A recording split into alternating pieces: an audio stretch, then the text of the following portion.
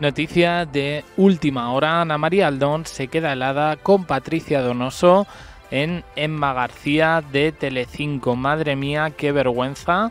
Eh, de verdad, este programa, que mm, alguna gente como Rosa López, que es una profesional, la tire por los suelos, pero que luego venga una señora como esta, Patricia Donoso, a decir barbaridades y prácticamente eh, que la tratan como la reina de Inglaterra.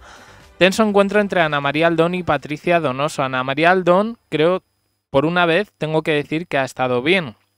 Ella se ha prestado un poco al juego del programa, ha recibido a Patricia Donoso y a su marido, que se encuentran aquí en España, con, con sus nuevas caras, que ya veis un poco lo que nos importa. Pero bueno, el caso es que esta señorita ha intentado provocar de la peor manera a Ana María Aldón.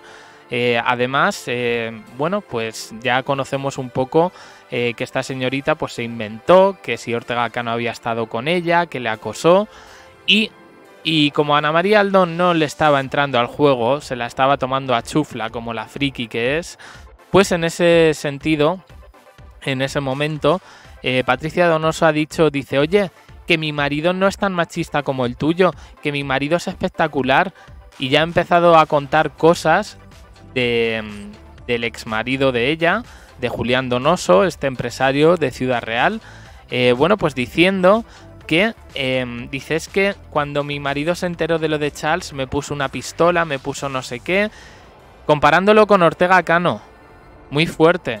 Y Ana María Aldona salta y dice, eh, dice no, no, no, no, por aquí no, porque una cosa es la chufla, una cosa es la broma y otra cosa ya que me estés aquí eh, relacionando que si tú y yo somos iguales y no, no, por ahí no. Otra colaboradora le ha dicho, pero tú has denunciado eso. Eh, no, es que, que le puso una pistola. Pero, pero vamos a ver, pero vamos a ver, cuando se enteró que tenía la relación con, con el que está ahora.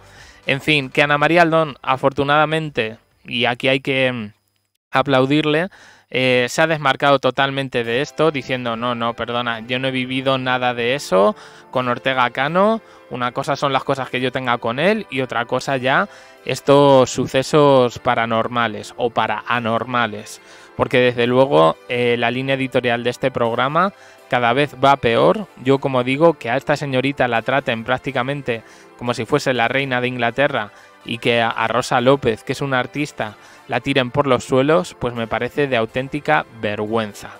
En fin, ¿qué os ha parecido? Dejadlo en comentarios, suscribiros, campanita, un me gusta en apoyo al canal. Os dejo aquí con más vídeos y en el canal secundario. Gracias por estar ahí.